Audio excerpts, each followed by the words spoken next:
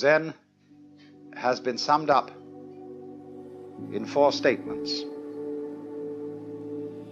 a direct transmission outside scriptures and apart from tradition. No dependence on words and letters. Direct pointing to the human mind and seeing into one's own nature and becoming Buddha.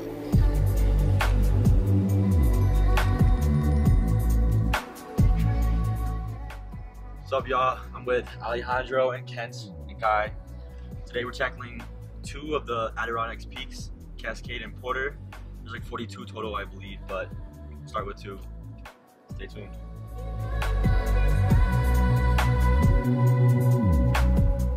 So we finally made it to the park. Uh, Finally, after this guy fucking got us lost.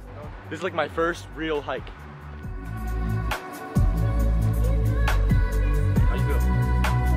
Fucking ready. So Alejandro here is my buddy from the army, and what's your name again? Kent is somebody I met for a week about two weeks ago in Texas, and now we are on a hike together in the Adirondack Mountains. It really does deal with a domain of experience that can't be talked about. Oh, Kai's found water. He's been booking up the mountain like he, he's been here before. I see. Dog version of Jennifer Lawrence has come up here. Every artist feels when he gets to the end of his work Where's that there's something absolutely essential that was left out.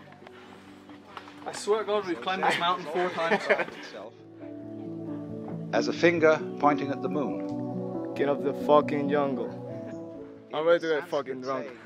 So, this trail is supposed to be like two-ish miles. Just ask somebody again how far we were from the top. And they keep telling us different distances.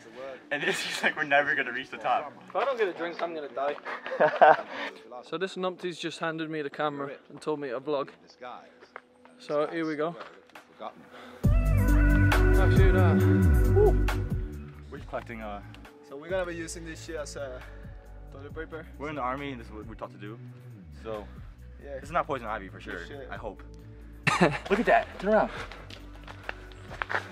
That's definitely a long way down. So I, I can't vlog and drink apparently, which is that's not fair if you ask me.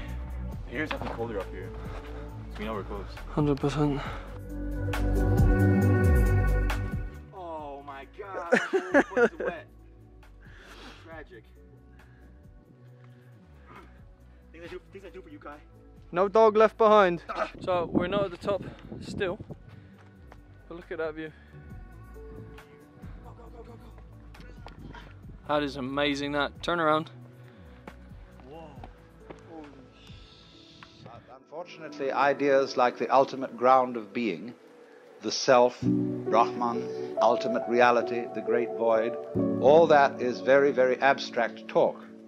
And Zen is concerned with a much more direct way of coming to an understanding of that, or thatness, as it's called, tathata in Sanskrit. I think, first of all, the appeal of Zen lies in its unusual quality of humor. Religions aren't, as a rule, humorous in any way. Views are amazing. It's serious. The drinks are even better. And when one looks at Zen art and reads Zen stories, it is quite apparent that something is going on here which isn't serious in the ordinary sense, however sincere it may be. There's no way. That Two was miles? 2.2 miles. It's two miles, I guess, if you go the long fucking. Yeah, okay. Bro, there's no way we did two months. That's way more. Easy as fucking shitting on a. Look at his ankles. No, I was fucking chilling at home and this fucking gringo took me all the way up there. it was good. It's a nice hike. I recommend it to anybody.